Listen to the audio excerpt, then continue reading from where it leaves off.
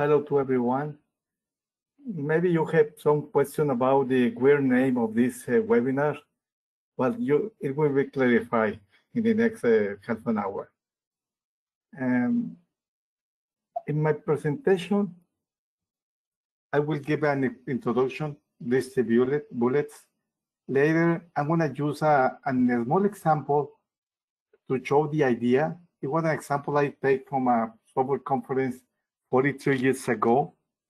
The next step, I want to question with you if these ideas is useful, are useful today. And then at the end, I will, I will make a summary. Well, many centuries ago existed a wonderful continent called Atlantis. In that place, everything was wonderful. Everyone was very happy. You can see it was beautiful. Well, you all know Atlantis is a myth. It never existed. We would like it to exist, but it's not. Also, many years ago, existed something called structured programming. There were many advocates of these ideas. One of those was Dijkstra and other David Parnas. Who is Dijkstra? I don't want you to pay attention to, to the letters. It is too much information. I would like you to pay attention to the dates. The first paper of Parnas about structured programming, it was published 52, 53 years ago. The idea was very simple. No tools, top the development, and modularity. Many people at that time wrote about structured programming. There were a lot of enthusiasm. The paper was written in 75, this in 79. Also, 15 years later, Harlan Mills from IBM wrote a paper making a kind of summary of what's going on. He said that before structured programming, the challenge was to make the software run, and later to debug eh, this to do the right stuff. After structured programming, it was clear that the software was to run, and the challenge was to make it run with little or no debugging at all. Also, before, it was accepted that was not possible to create a nice software with no with errors, with no defects. After social programming, it was believed that um, some, well, after social programming, many software can run for many years with no defects at all. In his paper, he talked about an example developed at that time. It was a project that IBM developed for New York Times that was finished in the middle of 71. It was a small project, 4 to 11 programmer for two years. In that project, the quality was 0.1 defect per thousand line of code. Also, at that time, it was common that, uh, that an online application crashes every day. And the New York Times software crashes just once in, the, in one year.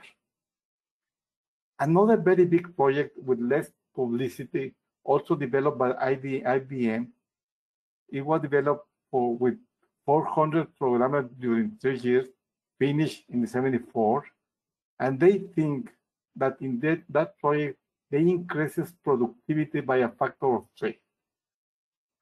The technology we have at that time, it was assembler, Fortran, and COBOL. Not too nice, not very nice, but it was uh, good tools. Another guy that uh, focus was modularity, right? One of his first paper in 71, just two years after Dijkstra paper. Also, he wrote a lot, but he published in 78 one very important paper in the Software Engineering Conference. It happened that I was there, and I learned some very important ideas from Parnas. Well, at that time, everything was wonderful. Everyone was very happy. Quality was 0.1 defect per thousand lines of code, and the productivity had increased by a factor of three. But this is not a myth. Those two guys are real, guys. Well, this uh, passed away at the beginning of the century. He spent from 85 to the end of the century teaching in Austin, Texas. Parnas is a guy that born in Pittsburgh.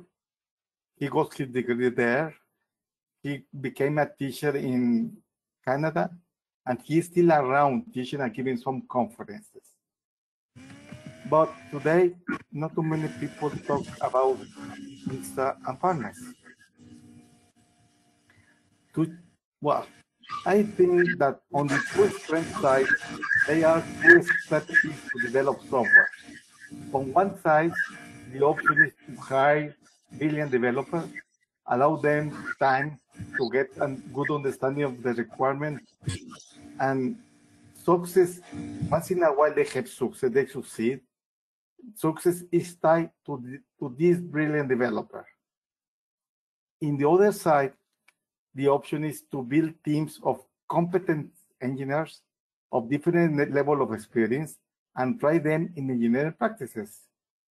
In this situation, success is due to the team and the and their engineering practices. We think in this situation the success is sustainable, and this is our bet. We want to create high performance teams of well-trained engineers. This is our challenge. In this seminar, I have a focus. Me, my company, my people are in the data processing software space. We don't develop compilers, we don't develop operating system, we don't develop games. We just develop data processing application and what some kind of tool to support our our teams. For that kind of software, uh, you know, First, we need to deal with the user to get a good understanding of what he needs, what he wants. After that, we need to think about the big structure of the software, how we are going to solve the problem. And later, we have to construct everything. And it's where the very small pieces of business logic reside. Here, we have a lot of different tasks. For each one of these tasks, we, we have a process. This is our PSP, personal software process. We call this our flawless, flawless execution process. And this process has several steps. My focus today is just this teeny uh, step on developing an small task. You have to develop many in a project, but this is just one small part. I'm going to use a toy program as an example to show you the idea. This is an example I hear from Parnas on Atlanta 43 years ago. And let's pause for a minute that uh, John was a good developer, a good architect, and good project leader. He used to work for me, but he retired because he thought software software was uh, frustrating sometimes. You need to work harder. And he wanted a better life. And he retired. And he moved to Lake Tahoe to live there. But uh, John was an active guy. He wanted to do something. And then he created a small business to rent boats to the people going in vacation to the lake.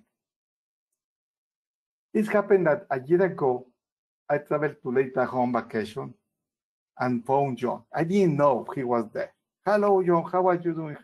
And he said, well, you know, software was very difficult. I decided to have a better life. I'm happy here. Uh, well, see, I have a business and everything is okay. Okay, congratulations.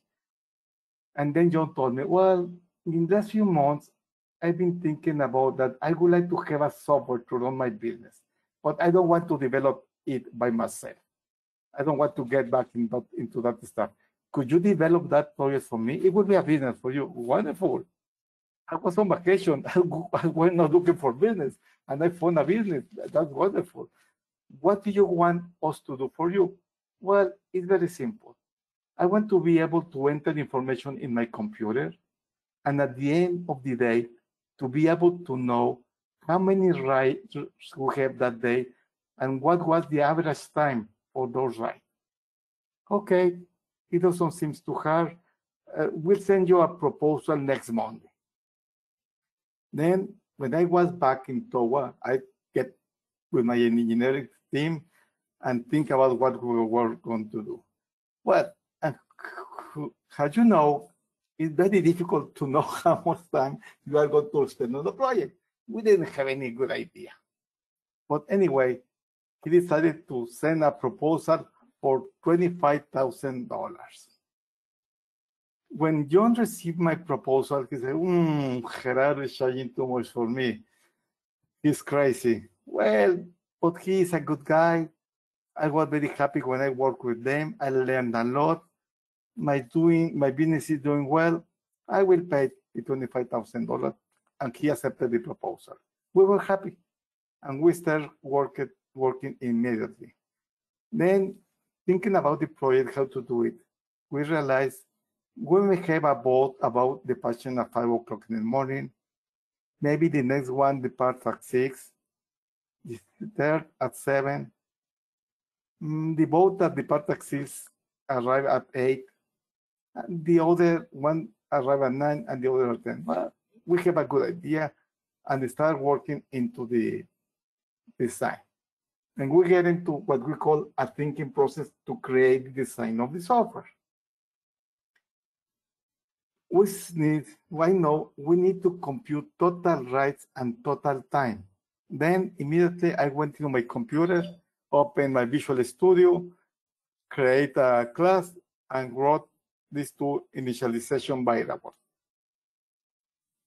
Next, I realized I have a bunch of both departure and both arrivals that all flew in some sequence. And I said, well, I need to do something to do something with, with every one of the, the events. And then I sketches a while loop to be able to process that. Later, I knew I had to deal with each one of the events once at a time. Then I got the event, and I realized that for each one of the events, I have two options. It is a departure or it is an arrival. I decided to count the departures, and the clever idea was if I subtract the departure time and later add the arrival time, Have the value I need to compute. Okay, I subtract the time here and I add the time here. At the end, I compute the average and show the information on the screen. When we finish, we test a lot the software, it runs okay, we pack and send back to John. John was anxious to receive his software. He loves software. The problem was he doesn't want, he didn't want to develop it anymore. When he received, he followed the instruction, installed the application and run, and he was very happy. The application was exactly what we asked, that what he asked us to do for him. We forgot about John. We started working on many other projects, and later, this uh, last uh, winter, I traveled to Lake Tahoahen. I, I had forgotten about John. I didn't remember he was there. And suddenly I found John. Hello, John, how are you? Ah, yes, I remember. You came here to live in Tahoe. Yes, remember, you developed a wonderful application for me. Ah, yes, yes, I remember. How is it everything? No, it was wonderful. The application has allowed me to make good decisions for my business. Today, I have more boats. I hire more people, more people. I even add food to my business because I noticed with the food, the people will stay longer in the lake. That means more rides and more time on the lake. Okay, wonderful. Well, but last week I was thinking that I would like to have some more information on my application. Could you that? Could you do that addition for me? It will be a business. Okay, no problem. What do you need? And he told me, well, Today, I have the total rights, I have the average. I would like to have also what, how long was the minimum right and how long was the maximum right of that date. I think that with those two pieces of information, I could manage better my business. At that moment, I didn't remember how we did this over for him. I said, well, I'll send you a proposal by the end of next week, not next Monday. I knew we have to get into the software to understand what we did to be able to make an, a, a proposal. When I came back to Towa, we'd get together with the engineering team. We remember what we have done before. And I realized that the modification was not to be simple. What happened? There is no natural place to insert this new business rule. There is no place. Then we had two options. To refactor code to have a better structure. That means to pay the technical debt, and it was going to be expensive. Or to do some more clever tricks to memorize here the departure time. That means to increase technical debt. This seems hard. This seems too much work. We didn't make the decision what we were going to do, but we decided to bid again $25,000 to John. When John received the proposal, he was surprised. Well, Gerardo's crazy. This is too much money. And he called me immediately. Why, Gerardo? What happened? Maybe you you made a mistake. This is too much money. Well, John, just you don't know. It, it is hard to do this change. No, it is very easy. I just want those two pieces of information on the back of the screen. No, John, you don't understand. We fight. We couldn't understand each other, and he didn't give us the, the project. He went to hire someone else immediately. The other one was worse than we were. the project failed. He didn't have his new application. He lost his money. As you know, in this kind of situation, nobody wins. Nobody wins. There, there is no way. I want to show you a different alternative to this situation. It is the same problem. I'm using Parnas's idea with an addition. That means that the base is the idea I learned from Parnas 43 years ago.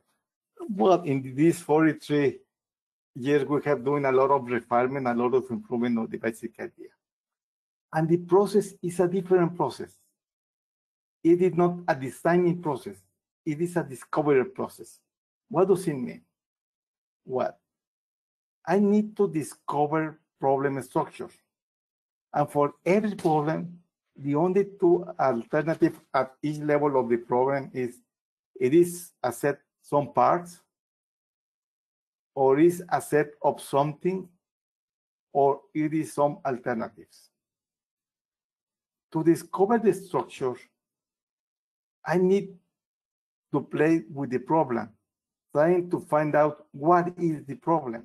That means I play with the problem about the part at five, another one the part at six, another one the part at seven, this one uh, arrives at eight, this arrived at nine, this arrived at, at 10. I need to count both writes. I need to compute cumulative writes time. I need to compute average, average write time. As you see, everything is about writes. Then I start thinking about the structure of the problem. And the structure of the problem is clearly a set of writes. It's in this kind. It's a set of something. If I have a set of something, I need to map the structure of the problem to the structure of the program. If I have a set of something, I need a cycle to process each one of those something once at a time. Okay. And in this case, it means I have a loop to process right. This is the structure of the software. Only I, after I have finished this, discovering the structure of the problem and modeling the structure of the program to the structure of the problem, I start refining the detailed design and writing code.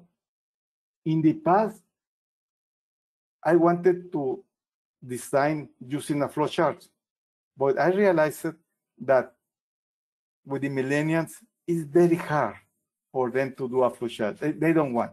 They are anxious to get into the keyboard to do something.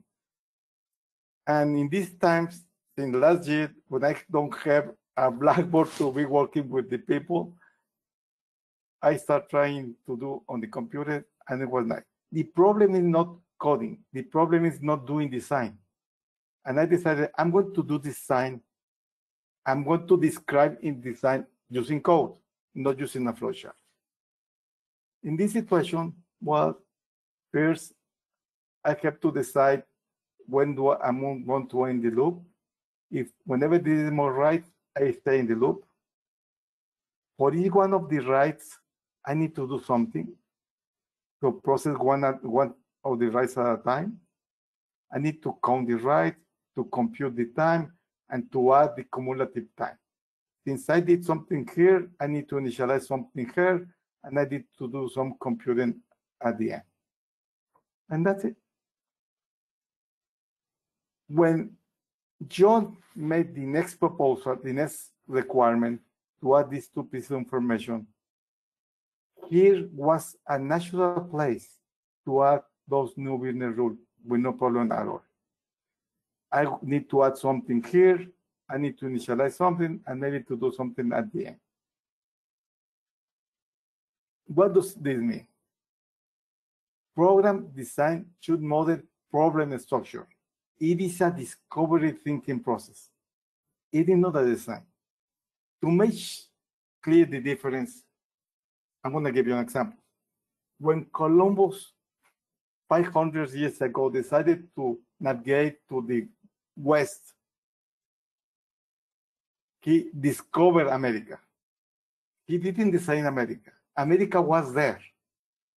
He just discovered, and he was discovered by accident. He didn't. He wasn't looking for America, but he discovered America. America was discovered. America was not designed. The same here. What we have was, on one side, we have Dijkstra. This took, the idea is, is simple and it's good. No, no GOTOs, top-down development, modularity. This is okay, but it's not enough. On the other side, we have the idea of Parnas, and that means we need to pay attention to discover the structure of the problem. Okay. And what we do we, do we get? Top-down discover structure discovery is doable. Why I say doable? The problem is there. We just need to dig into the problem to discover what's in there. When we do that, the modules of the program are parts of the problem. Coding meaningful. When you are reading a piece of code, you can watch the problem at work. The problem is doing something. It's not instruction. It's the problem doing something. Maintenance will be easy. In our experience, you require 40% less code most of the time. You get much less complexity the software run very efficient, and the most important, you don't provoke, you don't cause structural technical debt. This is important, no technical debt. Well, but that was with a top example that I knew 43 years ago. The question is, these ideas are useful today? For to show this, I got a video from from a Google coding interview. It is a almost an hour video. I just select um summary of less than a minute and a half, half and I'm gonna show you this video in a few minutes. Okay. Tell me how many rectangles are formed on the plane by these coordinates. So for instance, if I give you this, you see how I, I want you to write a function that takes in these points and that tells me how many rectangles, rectangles that are parallel to the x and y. I would say that we're looking for such quadruples, say x, y, then the other point has the same coordinate x, but different y, then some different x, y, x2, y2.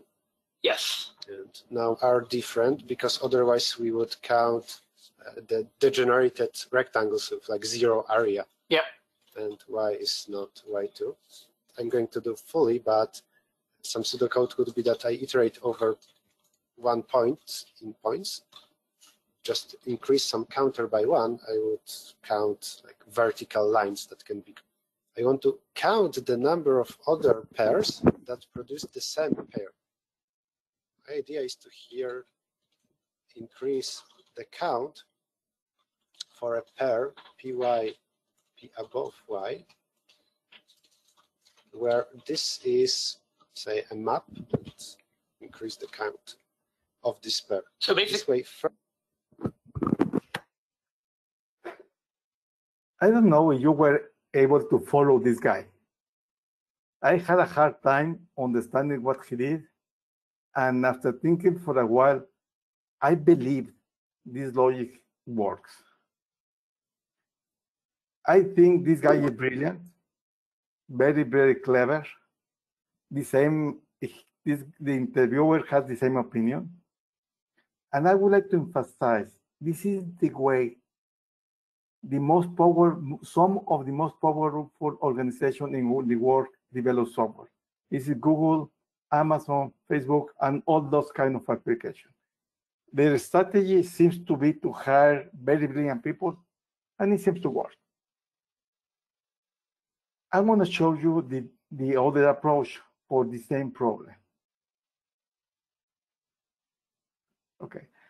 As I said, I need to discover the structure of the problem. For that, I need an example. I need a simple example, not very simple, sufficient to, to really think about this. And I realized, well, in this problem, I have a set of nine points in this example. And I realized that a rectangle of this kind that his sides are parallel to the axis I can describe that rectangle with just three points, the point A with just two points, the point A and the point B. If the point B is right and opposite and above point A, and also I have this point on the above A, and I have this point to the right of I, then I found a rectangle. I said that I have a set of nine points but also in this nine point, I have a set of 36 combination of two points. If the points were not nine, were thousand, a thousand, I gave a set of almost half a million combination of two points. When I have uh, discovered that, says, well, I need to process a set of combination of two points. And I map the structure of the, my program to that uh, structure of the problem. For every combination of two points, also, there, is your, there are just two alternatives. It is a rectangle or it's not a rectangle. Then I'm done. I have discovered the structure of the problem. I have modeled the structure of the program to map the structure, the structure of the problem. Then I start I continue refining, refining the design. And the first module becomes a function that is going to do something, a return account. And I start refining this. First of all, I have to sequence to process all the combination of two points. I could be able to do this in a double loop, but I decided to do this more elegant and to have a class to sequence all the combination of two points. And here I process all the combination of two points. For every combination of two points, I need to do something. And then I decided to have a method to find out if that combination can with that combination I could find a rectangle. If it's a rectangle, I count. If not, I don't count then the right part become just a function to compute if it is a rectangle or not. And as I said before, I need the point B to be up and to right of point A, and I need this point to exist, and I need this point to exist. And this is just a Boolean expression to do that. I need a small method to be able to compute this. And I need other two small method to be able to compute this. And I'm done. I'm finished. Then, summary. What do I have now? On one side, we have Dijkstra's idea. But if you focus Dijkstra's idea to go into the design immediately, you will end up with a lot of technical debt. On this right side, we have the Parnas's ideas.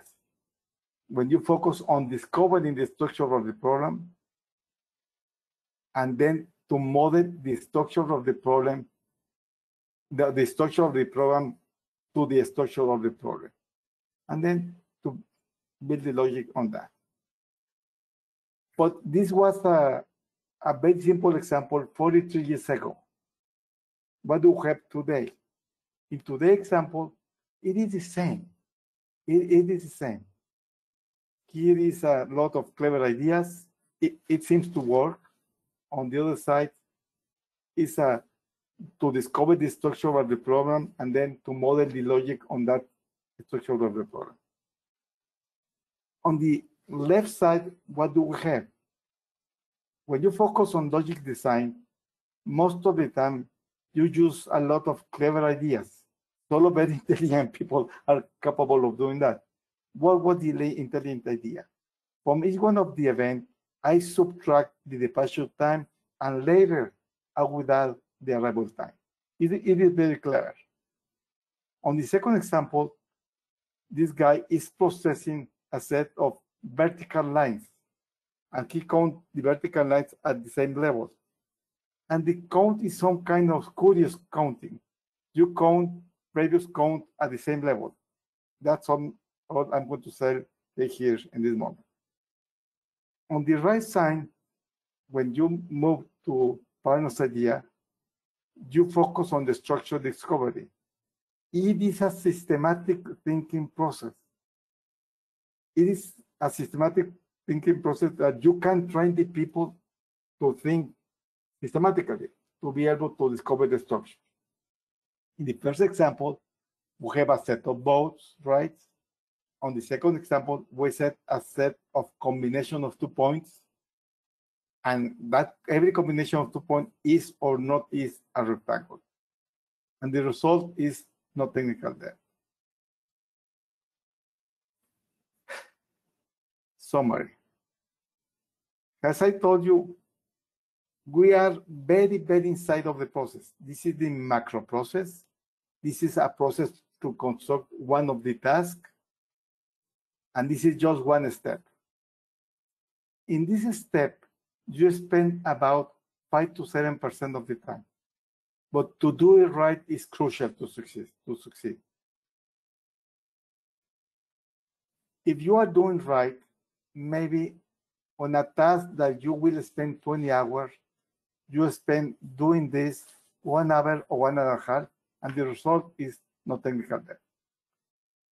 If you are doing wrong, maybe you don't do a structure discovery, or you do it lightly and wrong, you will end up spending the 20 hours or maybe more, and you get a lot of technical there. To learn this, it's not easy. It's like riding a bike. Riding a bike is not, is not difficult, but you have to learn, and you have to practice, and you have to practice a lot. We have a three weeks intensive training, 15 days, eight and a half hour a day. In that training, we teach the, the student about 30 different ideas, 30 different stuff. But I said to the guys, this one value 80%. That means if you don't understand anything of the training, but you understand this very well, you are in the happy side. Well, what's happening with a real size project? These two were toy program problems. A real size project, not too big, is a hundred thousand lines of code. This means about five thousand chances to do right or wrong. Five thousand chances to avoid technical debt and be happy, or to add lots of technical pay, debt and pay. If you get technical debt, you will pay. Sooner or later, you will pay. Thank you.